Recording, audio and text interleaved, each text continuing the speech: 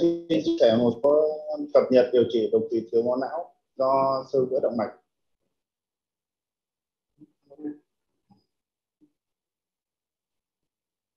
Nó cái slide bài báo bài báo cáo của em thì ờ, gồm có bốn nội dung, trong đó là trong đó thì có hai phần chính là phần tái tiêu máu uh, cập nhật các uh, chỉ định về sợi huyết thứ nhất của Antepla hai là lấy khối cơ học phần ba là liệu pháp tiểu cầu kép trong trong đó là dự phòng và xử lý hoạt động mạch cảnh và nội ngoại sọ. Thì cái phần hai này phần dự phòng thì thì, thì uh, bài của các của em thì nó có sự trùng lập với bài báo cáo chủ đề sau. Thì em xin uh, tập trung về báo cáo của mình vào cái mục uh, phần uh, điều trị tai cập nhật cập nhật mới nhất về điều trị tai phi máu ở trên điều trị trung não cấp. Khi chúng ta biết thì uh, trong đột quỵ nhồi máu não thì tham IVN có thời gian là não mục đích của chúng ta là cần phải tái thông mạch não càng sớm càng tốt để hy vọng là cứu sống cái vùng phi nam ra nếu mà nếu mà chúng ta không thể tái thông được mạch thì cái vùng viêm gan là trở thành cái vùng nhồi máu chính vì vậy nó gây ra hậu quả rất là trầm trọng. Đối với sử dụng thuốc tiêu giờ huyết thì à, chúng ta sẽ có những cái cửa sổ khung giờ điều trị à, thuốc tiêu giờ huyết. Nó là khung giờ từ 0 đến 3 giờ đầu là khung giờ kinh điển. Đầu tiên sau đó người ta mở rộng lên khung cửa sổ từ 3 đến 4,5 giờ. Và gần đây nhất đó là khung cửa sổ dành cho những bệnh nhân đột quỵ não không rõ thời gian khởi phát hay là những bệnh nhân đột quỵ thức giấc. Và một cập nhật mới nhất đây của tác giả Hedema có thực hiện những nghiên cứu và đã được update vào guideline của ISOP là khung cửa sổ 4,5 đến 9 giờ vai trò của Antepla. Chúng ta biết thì à, theo phân tích của ISOP vừa rồi thì vai trò của tiêu sợi huyết trong khung cửa sổ từ 0 giờ đến 3 giờ thì các bạn chúng ta nhìn trên slide rất rõ là vai trò Antepla thể hiện vai trò của Antepla rất là rõ ràng với tỷ số OR là 1,75 còn đối với khung cửa sổ 3 đến 1,5 giờ Antepla có đem lại cái kết cục điều trị tốt rất là cao với OR là 1,2 và chính vì vậy nên, nên BISOC 2021 đã khuyến cáo dành cho những bệnh nhân đột quỵ đường máu cấp trong khung cửa sổ 4,5 giờ. Thì khuyến cáo sử dụng ốt Antepla à, đường tĩnh mạch với mức độ bằng chứng cao và sự mức à, khuyến cáo mạnh. Còn đối với ASA 2019 thì cũng tương tự như vậy khuyến cáo mức độ 1A dành cho tiêu sợi huyết khung cửa sổ từ, từ dưới 3 giờ. Còn đối với khung cửa sổ từ 3 đến 4,5 giờ là mức giá mức độ 1 phần mệnh B. Còn đối với đột quỵ nhẹ thì sao? Chúng ta biết là đột quỵ nhẹ thì nó chia là hai hai hai mức độ. Đột quỵ nhẹ nhưng mà gây ra mức độ tàn phế ảnh hưởng đến uh, sinh hoạt cuộc sống hàng ngày. Ví dụ như là gì? Ví dụ như là bệnh nhân có tán manh nhìn đôi là bệnh nhân uh, ví dụ như bệnh nhân uh, là một uh, ca sĩ mà bị thất ngôn hoặc là những người làm nghề đàn ca mà lại bị tê bì hoặc yếu nhẹ tay, thì đối với trường hợp này thì nó ảnh hưởng đến cuộc sống, chất lượng hàng ngày. Vậy vì khuyến cáo ASA người ta có cập nhật rồi đối với trường hợp mà đột quỵ nhẹ mà mức độ gây ra tàn phế đó thì sẽ mức độ trong khung cửa sổ 3 giờ thì tiêu sợi huyết được khuyến cáo ở mức độ 1 còn đối với khung cửa sổ 3 5 giờ thì là khuyến cáo là 2B còn đối với những trường hợp mà đột quỵ nhẹ nhưng mà không gây à, ảnh hưởng đến sức sống nhiều thì biết vào từ không đến năm thì chúng ta cũng thấy rằng là vai trò của Tesla không đem lại cái kết cục à, không đem lại cái lợi. Tương tự như vậy thì ESOP 2021 cũng cũng cũng đồng thuận rằng là đối với trường hợp đột quỵ nhẹ nhưng mà gây ra cái mức độ tàn phế đột quỵ nhẹ nhưng trong khung giờ 4,5 giờ và gây ra mức độ tàn phế thì cũng khuyến cáo được sử dụng mức độ uh, khuyến cáo sử dụng Antella đường tĩnh mạch. Và xin ờ, trong ờ, năm 2018 trên tạp chí Lương Ngừng có trong một bài là nghiên cứu về đột quỵ thức giấc hay là những đột quỵ uh, không rõ thời gian khởi phát. Đột quỵ thức giấc không rõ thời gian khởi phát người ta trên đối tượng nghiên cứu là những trường hợp mà không rõ thời gian khởi phát ngủ dậy phát hiện ra đột quỵ và cái tiêu chuẩn bắt buộc của nó đó là gì? Bệnh nhân những bệnh nhân được chụp động từ. Những bệnh nhân được chụp động từ và có trên uh, phim hình ảnh ờ, siêu động từ sẽ có có có tổn thương mid mép giữa division và le. Tổn thương mid mép giữa division và le có nghĩa là như nào? Có nghĩa là trên xung division chúng ta nhìn thấy là nó trên xung chúng ta nhìn thấy là có những cái tổn thương rất rõ ràng này nhưng từng vùng tương ứng ở trên flare chưa có tổn thương. Thì khi đó thì người ta thấy rằng những tổn thương này vậy xác định là bệnh nhân có xuất hiện là dưới 4,5 giờ và những bệnh nhân này sẽ được sử dụng thuốc Antella còn hình bên dưới chúng ta nhìn thấy là trên xương đương vision có tổn thương nhưng mà trên xương phần này cái vùng tương ứng của nhu mô đó cũng có tổn thương. Vậy những trường hợp này bệnh nhân sẽ không được thu về nó nghiên cứu và sẽ không được sử dụng thuốc Antella kết quả của nghiên cứu thì rất là tốt. Đó là gì? Ừ, số lượng bệnh nhân sử dụng Antella thì cho kết quả Movenkin ở ngày thứ 90 tốt hơn hẳn và tỷ số ER là 1,62 với P nhỏ hơn 0,05 và dựa vào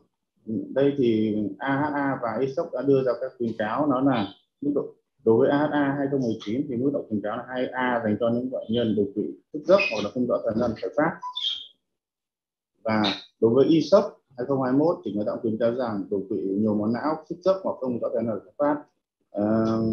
mà bệnh nhân không có kế hoạch hoặc là chỉ định Ờ, lấy khối cơ học thì người ta cũng khuyên cáo là được sử dụng thuốc antenna đường tĩnh mạch với mức độ bằng chứng là cao và mức khuyên cáo là rất mạnh. Và mới nhất gần đây là trên U Linh lần 2019 có tập uh, tác giả Henry Ma có đăng một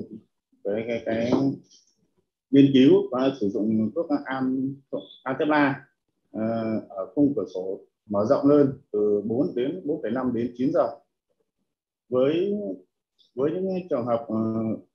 đó là với những tiêu chuẩn ờ, về hình ảnh học. Thứ nhất ờ, đó là gì? Đó là vùng lõi ở dưới 70 mét thủy ngân ml ml hai là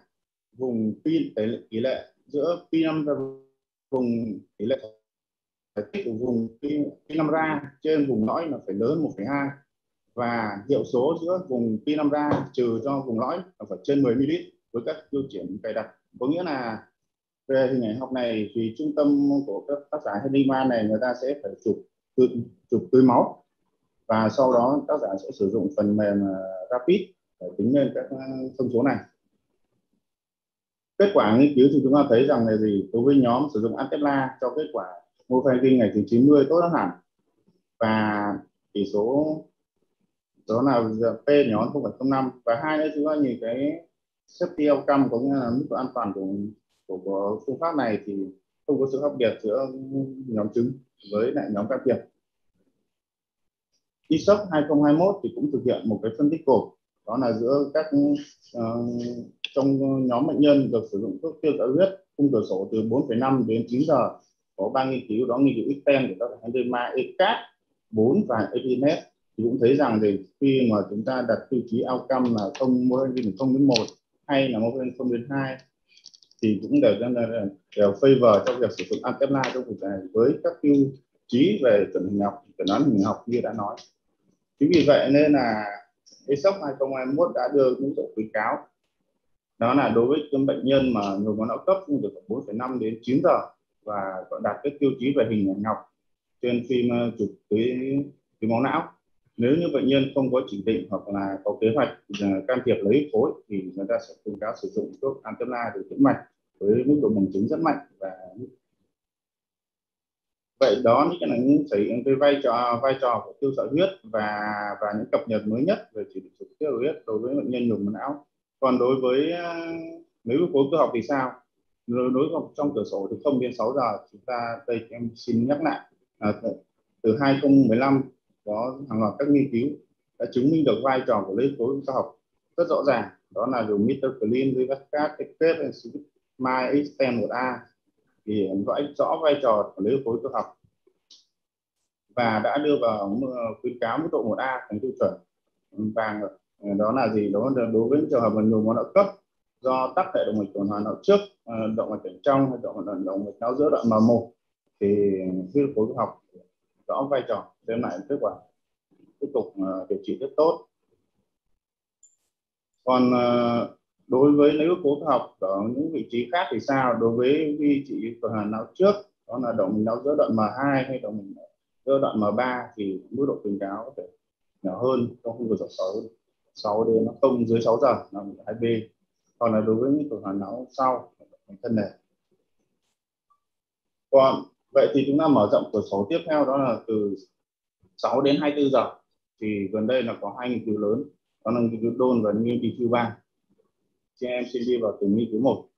Đầu tiên đó là nghiên cứu điều thứ ba. Trên tiêu chuẩn lựa chọn của nghiên cứu là tất cả những bệnh nhân đột quỵ nhồi máu não cấp có điểm nít lớn bằng 6 và trong khung phải phát trong khung cửa sổ từ 6 đến 16 giờ. Tiêu chuẩn lựa chọn là ừ, tiêu chuẩn lựa chọn về mặt hình học, đó là gì? Đó là thứ nhất là bệnh nhân, tất cả bệnh nhân đều chụp ừ, túi máu não và vùng lõi là phải dưới 70 ml vùng bitmap radio có nghĩa là gì? Có nghĩa là vùng tỷ lệ giữa thể tích vùng pi năm ra chia cho thể tích vùng uh, lõi là phải lớn hơn 1,8 và hiệu số giữa thể tích vùng pi năm ra trừ thể tích vùng lõi phải trên 15 ml thì tất cả những bệnh nhân này sẽ được lựa chọn vào nghiên cứu và thực hiện lấy khối cơ học. Kết quả thì như các bạn như quý đồng nghiệp đều thấy đó là uh, giữa hai nhóm chúng ta thấy là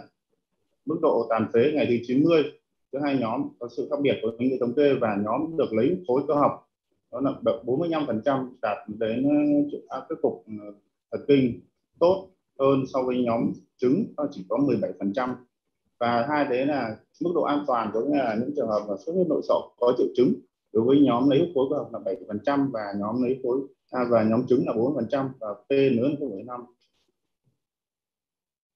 tiếp theo đó là cũng tương tự trong đó, trong năm 2018 cùng với công bố của kỳ thứ ba thì ờ, nghiên cứu đôn cũng,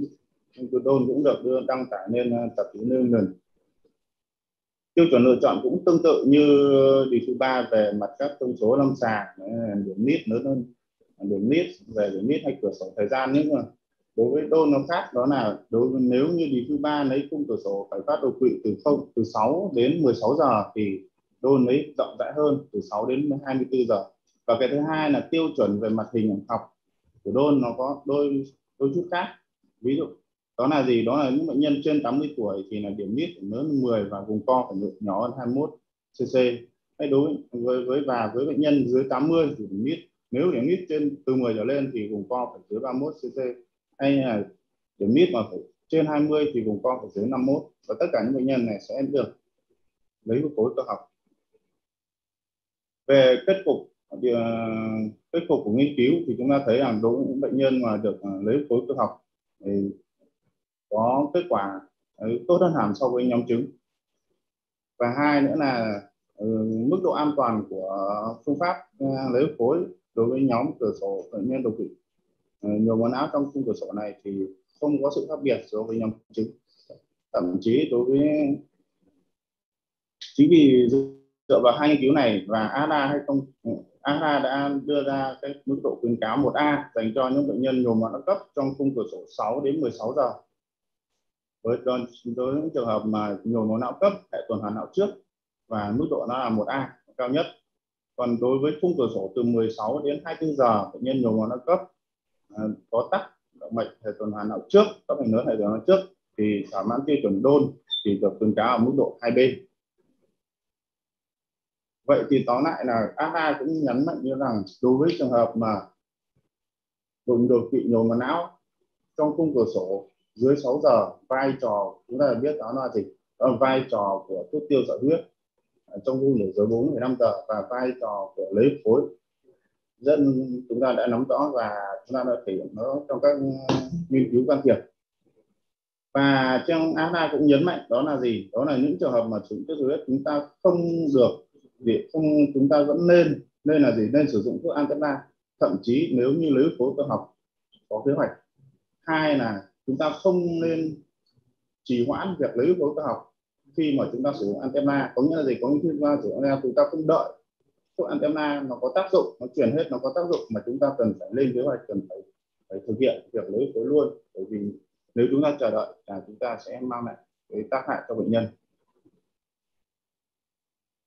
dạo gần đây chúng các với các quý đồng nghiệp đều đặt ra một câu hỏi, đó là xu hướng bây giờ là liệu rằng đối với trường hợp mà bệnh nhân đột quỵ nhiều món não cấp trong khung cửa sổ dưới 4 giờ 4 tiếng rưỡi, vậy thì chúng ta tắc mạch máu tách một tắc mạch lớn hệ tuần hoàn trước, thì chúng ta liệu rằng có nên có nên rằng là tiêu sợi huyết, tiêu sợi huyết với lại lấy khối cơ học hay là chúng ta lấy cơ học trực tiếp? Và gần đây một loạt các nghiên cứu chỉ ra rằng một cái, quyền cái đã được công bố đó là gì? Nghiên cứu direct MT nghiên cứu depth nghiên cứu select. Và hai nghiên cứu đang được thực hiện đó là nghiên cứu direct shape và nghiên cứu Mr. Windows IV cũng chưa được công bố kết quả. Thì em xin đi vào ba cái nghiên cứu được công bố kết quả đó là nghiên cứu direct MT nghiên cứu này được thực hiện ở Trung Quốc và đối tượng là những bệnh nhân nhồi não cấp trong khung thực 4,5 giờ tắc hệ tuần mật lớn hệ tuần hoàn não trước đó là tỉnh trong M1 đầu M2 tiêu chí tiêu chí đánh giá là một thông tin tại thời điểm 90 và các anh chị lưu ý, đây là đây là phương pháp so sánh giữa hai, đây là nghiên cứu so sánh hai phương pháp, xem là phương pháp nào có thua kém hơn phương pháp nào. Chính vì trong nghiên cứu này, người ta lấy cái chỉ số long mặc in, nó là mức độ 20 phần trăm, độ tương đối cao. Đây là về đặc điểm lâm sàng giữa hai nhóm ờ, can thiệp và nhóm trứng chúng ta thấy có sự đồng bộ giữa hai nhóm. Tất cả đều là, trong đó thì 35 phần trăm bệnh nhân là tuần hoàn tắc cảnh trong 50 phần trăm bệnh nhân tắc M1 và có khoảng 13 phần trăm bệnh nhân tắc đầu M2 vậy thì kết cục trong nghiên cứu này chỉ ra như thế nào? Chúng ta thấy là gì? Ờ, trên uh, hình trên điểm mô phanh kim ngày thứ 90 để so sánh giữa hai nhóm chúng ta thấy dường như không có sự khác biệt. Hai nữa là khi đánh giá về mặt uh, kết cục uh, kết cục thứ phát thì chúng ta cũng có thể xuất hiện giữa cái mobile tin từ 01 hoặc không các khoảng mobile tin từ 01, 02, 03, 05 vậy thì tác giả các tác giả tác giả đã kết luận là rằng ở trong nhóm bệnh nhân Trung Quốc uh, nhiều máu cấp ở các hệ uh, lớn tuần hoàn não trước thì nếu như lấy khối trực tiếp sẽ cho kết cục là không kém hơn không thua kém hơn so với cái biện pháp là lấy khối kết hợp với lại thuốc tiêu xáo huyết đường tĩnh mạch ở cung cửa sổ 4,5 giờ với cái mức mặc gin là 20 phần trăm. Và một cái một cái nghiên cứu nữa cũng được thực hiện ở Trung Quốc cũng thực hiện trên nhóm đối tượng tương tự nghiên cứu đấy. Với cái tiếp tục chọn là nhóm nhiều máu cấp dưới 4,5 giờ cũng tắc động mạch cảnh trong mà một và đầu mà hai. Nhưng mà với cái mức độ nông như về mặc gin có những mức khoảng an toàn để so sánh. Cái mức so sánh giữa hai phương pháp này có, có sự thua kém hơn thì nó là chỉ mức độ là 10 phần trăm. Chúng ta được thấy trên bảng này nó là đặc điểm chung của hai nhóm nghiên cứu không có sự khác biệt lắm về các uh, tiền sử về mặt uh, bệnh à, mắc đồng mắt hay là mức độ bệnh mũi tim mạch hai nữa tương tự trong nhóm năng cứu này chủ yếu đó là bệnh nhân là tắc M1 8 chiếm 80 đến 84 phần trăm tác động mạch cảnh trong khoảng 15 phần trăm và tác động đầu hai khoảng 23 phần trăm. Thì kết quả thì chúng ta cũng chúng ta thấy rằng gì? Tác giả cũng thấy rằng là điểm morphine ngày thứ 90 giữa hai nhóm can thiệp và nhóm trứng cũng không có sự khác biệt. Và hai nữa mức độ an toàn của can thiệp là là, là cao và tác giả đã kết luận là gì? Trong cái nhóm bệnh nhân nhồi não cấp do tắc hệ tuần hoàn não trước mạch lớn trong khung cửa sổ 4,5 giờ thì can thiệp lấy khối đơn độc so với việc ờ, phối hợp với lại thuốc tiêu giảm huyết thì được đem lại kết quả là không thua kém hơn về kết cục thần kinh ngày thứ 90 tuy nhiên thì tác giả cũng cho nhận nhấn mạnh một điều là cái kết quả này sẽ phụ thuộc vào cái mức độ mặc in như nông như mặc in mà mà mà các tác giả đã đưa ra. Và gần đây hai nghiên cứu vừa rồi là hai nghiên cứu trên người Trung Quốc. Vậy thì nghiên cứu trên đối tượng ở người Tây thì sao? Đó gần đây nhất có nghiên cứu trên uh, nghiên cứu select của tác giả Albert. Cũng thực hiện tương tự trên nhóm đối với trên trên trên nhóm à, đột quỵ nhồi máu não cấp trong khung vực khoảng 4,5 giờ tác động mạch cảnh trong M1 và đầu M2 kết cục chính cũng là mô hình kinh thời điểm ngày 90 thì các tác giả thấy rằng là gì? So với việc là chúng ta lấy khối trực tiếp thì việc combine giữa hai phương pháp tiêu sợi huyết và lấy khối thì kết cục à, mỗi điểm mô phan trên ngày thứ 90 của cái nhóm can thiệp kết hợp dùng sử dụng biện pháp can thiệp, uh, kết hợp thì có vẻ là tốt hơn nhiều. Về mặt là gì? Mô phan kinh nếu đó là kết quả về function interface có nghĩa là kết cục à, uh, thần kinh tốt và và tỷ lệ tử vong ở cái nhóm sử dụng ờ, thuốc tiêm huyết kết hợp với liều phối cũng thấp hơn. Và khi phân tích dưới nhóm để tác giả tìm ra cái ưu thế hơn hẳn của việc uh, so sánh giữa hai phương pháp này thì tác giả thấy rằng nếu như ở nhóm bệnh nhân điểm NIS dưới 10 năm dưới 10 năm thì việc combine giữa hai phương pháp đó là tiêu sợi huyết và lấy phối được chứng minh là lợi ích hơn rõ ràng so với việc chỉ việc ừ, lấy khối đơn độc với tỷ số R là 4,87 và hai nữa là đối với nhóm bệnh nhân mà có lõi dưới 50 cc thứ ba là những trường hợp mà vậy thì tác giả thấy kết luận. Việc phối hợp giữa hai biện pháp tiêu sợi huyết và lấy khối để đem lại kết cục thần kinh tốt hơn đặc biệt là nhóm bệnh nhân mà đường nít dưới 15 hoặc à, và à, vùng lõi dưới 50 cc vì chính vì vậy nên là những bệnh nhân này thường những bệnh nhân được vừa được truyền từ tuyến dưới chuyển lên và vừa được truyền về truyền antenna và chuyển lên để lấy khối ở tuyến trên. Và chúng tôi các tác giả cũng không quan sát thấy là những cái lợi ích tiềm tàng ở những nhóm bệnh nhân điểm ít trên 15 ờ, một nghiên cứu nữa đó là nghiên cứu Mitoglin trên nhóm bệnh nhân ở châu Âu. Trong đó thì có 16 ừ, được đây là nghiên cứu cũng thực hiện việc là gì? Lấy phối ờ, trực tiếp đối với lại so sánh với việc ờ, phối kết hợp giữa hai phương pháp tiêu giải huyết và lấy phối nhóm đối tượng là thực hiện ở châu Âu gồm có 20 trung tâm, trong đó 16 trung tâm ở Hà Lan, hai trung tâm ở Pháp và hai trung tâm ở Bỉ. Hiện tại thì nghiên cứu này cũng đã thực hiện xong việc lấy mẫu và đang thực hiện phân tích. Chúng ta sẽ đợi chờ kết quả. Trong nghiên cứu này, các bác thu tuyển, nghiên cứu đã thu tuyển được 540 bệnh nhân và hiện tại chỉ trong trong thời gian tới chắc khả năng là sẽ công bố kết quả chúng ta cùng chờ đợi. Và một nghiên cứu mạnh nữa nó là nghiên cứu direct shape. Nghiên cứu direct shape là nghiên cứu đa trung tâm và thực hiện ở, trong đó Việt Nam mình cũng thực hiện ờ, cũng tham gia. Trong đó thì trung tâm đột quỵ mai cũng tham gia và hiện tại là đã thu tiền được hai bệnh nhân đứng thứ hai. Thì chúng ta cùng chờ đợi kết quả và sẽ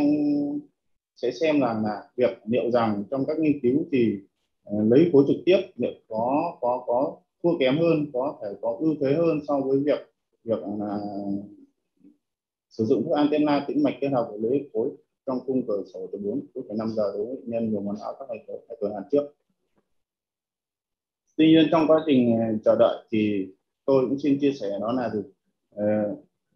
chúng với lại câu hỏi đặt ra là chúng ta có nên tiêu giải huyết trước khi lấy khối công thì theo tác giả Albert, tôi xin chia sẻ một cái à, quan điểm của tác giả đó là cho đến khi mà chúng ta có đầy đủ các dữ liệu cho phép thì việc áp dụng các guideline hiện tại với các mỡ bằng chứng hiện tại được cho là là nên là phần à, đó chính là vai trò à, thông tin đó là phần à, điều trị tái thiếu máu cập nhật mới nhất vai trò của antepla vai trò của tiêu sợi huyết đường tĩnh mạch và việc lấy huyết khối cơ học thì phần à, tiếp theo đó là phần liệu pháp à, kháng tiểu cầu. Thì vai trò của kháng tiểu cầu các bạn biết đối với khi bệnh nhân được sử dụng Antemna thì chúng ta lên nên nên, nên đánh giá và chỉ hoãn mức độ khuyến cáo 1A dành cho những bệnh nhân để xin à, thì quay này sẽ. Thì Antemna sẽ được khuyến cáo thì cho những bệnh nhiều máu cấp trong khung cửa sổ ờ, chỉ hoãn sau 24 giờ bệnh nhân sử dụng thuốc tiêu giải huyết và đối với trường hợp mà bệnh lý trong bài này thì chủ yếu là gặp cập đến việc nhiều máu đột quỵ nhồi thiếu máu não uh, do bệnh lý sơ vữa và không phải là nguyên nhân tim mạch. Nên là đối với trường hợp đột quỵ nhồi máu nhẹ thì vai trò trong khuyến cáo ở HA vai trò của kháng tiểu cầu kết là ưu tiên hàng đầu và đưa vào khuyến cáo mức độ 1A nên phải nên sử dụng sớm trong 24 giờ đầu từ lúc khởi phát triệu chứng và nên kéo dài kháng tiểu kết trong vòng 21 ngày sau.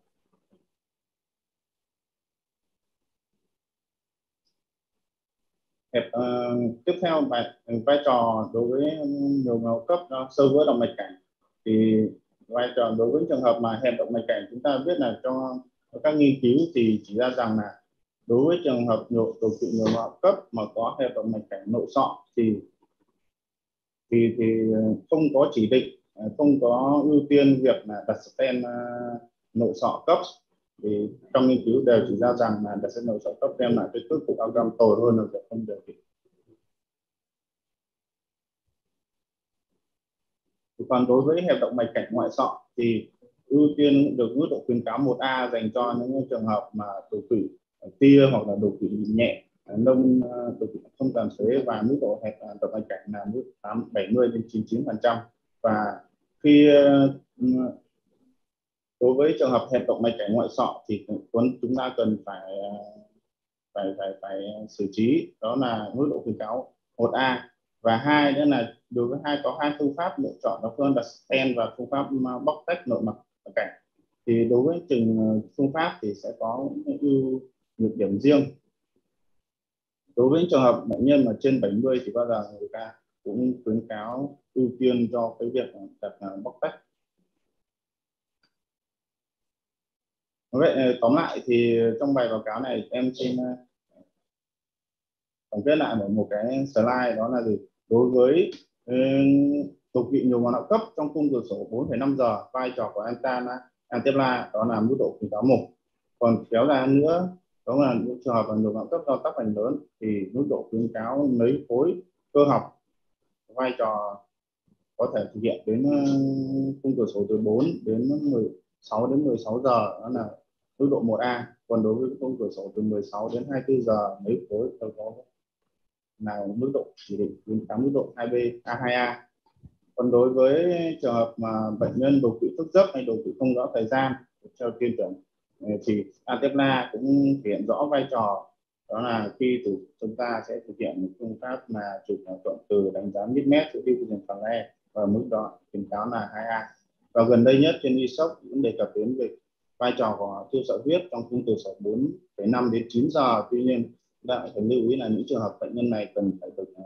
chụp ờ, tái tim máu để tính ra vùng lõi và các thông số. Em xin chân thành cảm ơn. Vâng xin cảm ơn báo cáo của thạc sĩ ờ, Nguyễn Tiến Dũng. Thực ra thì đối với điều trị của nhồi máu não thì cái giá trị của cái tiêu trong những giờ sớm để chúng ta cứu được não thì rất là quan trọng và không phải là cơ sở nào cũng có được cái phần mềm rapid để chúng ta có thể nhận biết trong những cái trường hợp mà nhồi máu não à, bệnh à, khi thức giấc. À, theo tôi biết thì ờ, ở Việt Nam thì mới chỉ có 3 trung tâm chúng ta có được cái phần mềm rapid đó đó là cái sự rất giá trị để chúng ta đánh giá được. Và còn cái phần điều trị của